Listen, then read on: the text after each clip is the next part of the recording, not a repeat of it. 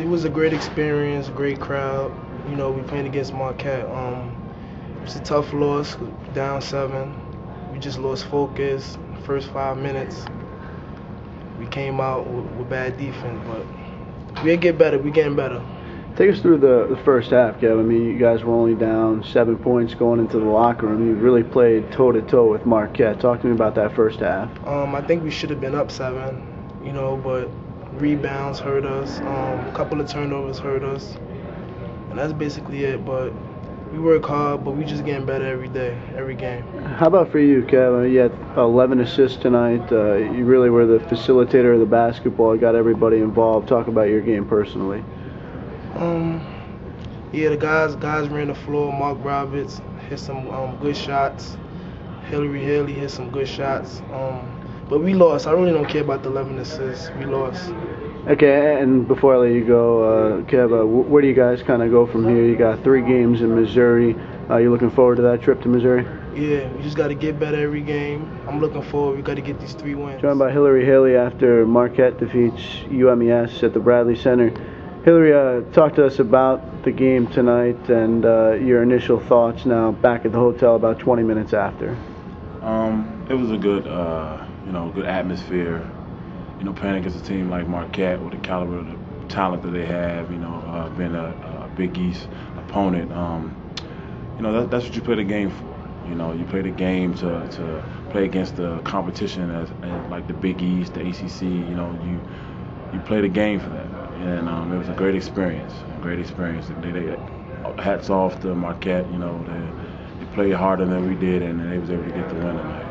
I asked Kev this question. I'll ask it to you, Hillary. Uh, first half, I mean, you guys were right there, mm-hmm. 40, 33. Take me through the first 20 minutes of the basketball game.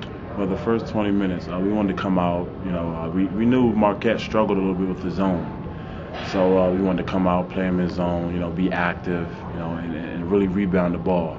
And I felt in the first 20 minutes we rebounded the ball well. You know, uh, Kev White hit, you know, hit, hit it open guys, and you know, we making shots. And Mark Rod really gave us a lift in the first half.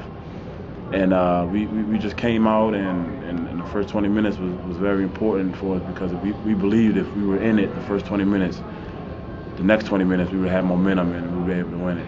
How about for you, Hillary? You had 22 points. You led the way offensively. Uh, you got involved in a lot of different ways on the break, down low, hit some three pointers. Uh, take me through your game. Uh, it's only your second game in, in a couple of years. Well, once I hit the, the, the, a few shots in the first half, you know, I felt like I was in a rhythm, and uh, you know, I, I wanted that to carry over to the second half. You know what I mean? But but all through the game, I felt like I had a, a nice rhythm. You know, I felt like I had my jump shot was, you know, I had the right arc on it, and my move to the basket was sharp. I just felt like I was in the rhythm. You know, unfortunately we got the loss, so it doesn't matter, you know, my, my stats, but I just felt like I was in the rhythm. All right, Hillary. Uh, now set us up for Missouri. You got three games, three days: Friday, Saturday, Sunday. Uh, three good teams. Uh, what's it going to take for UMES to get some wins down there? Um, well, one, we had to bounce back you know, back to the, the, the drawing board. Um, and we just got to play hard. The, the mission, you know, coming on this trip, you know, was to be 500 or better. You know what I mean? And, you know, now it's back to the drawing board. You know, get, getting better every day, practice hard every day, watch tape, scout our opponents, and just basically prepare correctly. And I know the coaching staff, they're great. You know, so I'm sure they're going to have us, uh, you know, well prepared. And now all we got to do is just go out these next three games and play hard and play the game.